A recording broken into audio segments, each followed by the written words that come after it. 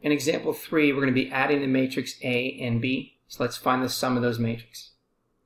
So in step 1, we're going to add corresponding entries. We're going to add entry in row 1, column 1 of matrix A to the entry in row 1, column 1 of matrix B.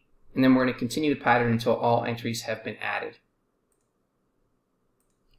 So we have 4 and 5, which is 4 plus 5 we have 1 and then 9, which gives us 1 plus 9. We have 3 and 0, which gives us 3 plus 0. And we get 2 and 7, which is 2 plus 7. Now when we add 4 plus 5, we're going to get 9. When we add 1 plus 9, that gives us 10. When we add 3 plus 0, that gives us 3. When we add 2 plus 7, that's going to give us 9.